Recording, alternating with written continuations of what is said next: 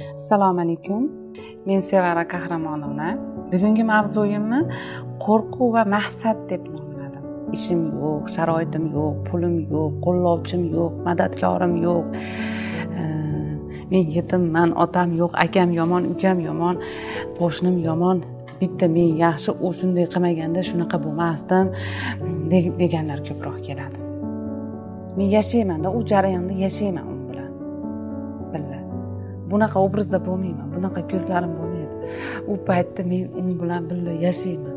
Keladi ichimdan qaynab keladi unga. Ichimdan qaynab kelib nima qilaman olib chiqib ketaman ana shu odam mana shu vaziyatdan. Minnatdor bo'lish kerak. Hayotda o'zida.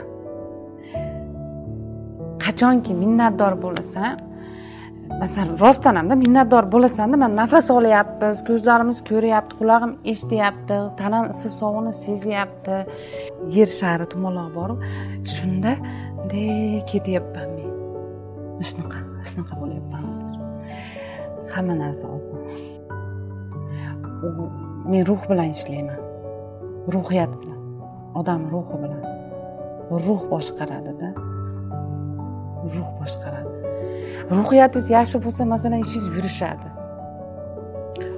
Yurishib ketadi. Bitta ishingiz bitib ketadi. Ruhiyatingiz yaxshi bo'lmasa ming bilimingiz bo'lsin masalan bilimingiz bo'lsin sizni masalan bilimingiz rosa ko'p tajribalisiz misollarda lekin ruhiyatingiz yaxshi bo'lmasa ishingiz yurmaydi bitmaydida. Oldimga qo'ygan maqsadim maqsadim bilan yashadim dedimu yillar mobaynida men maqsadim bilan yashadim. Qo'rquvim tufayli shu maqsadimga erisha olmay keldim dedimda men bugun yengib yorib chiqdimda manki bu meni yutug'im. Bu sizni yutug'ingiz. Bu meni yutug'im.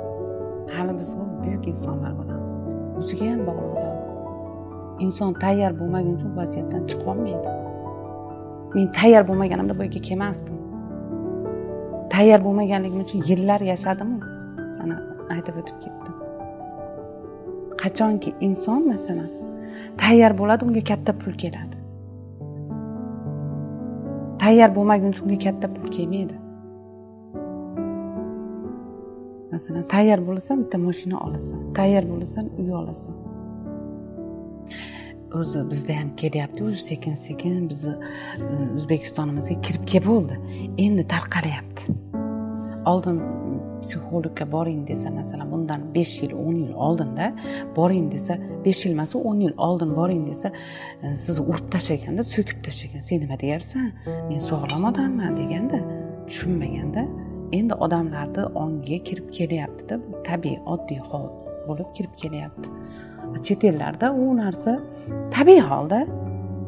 O'zi bilasizmi erkinjon meni orzularimda tasavvurlarimda maqsadim borda shunaqa niyat qilganman. Xudo xohlasa boyib ketganimda pullarim ko'p bo'lib ketganda shunaqa uy solaman. Uylarim xuddi shunaqa bo'ladi deb.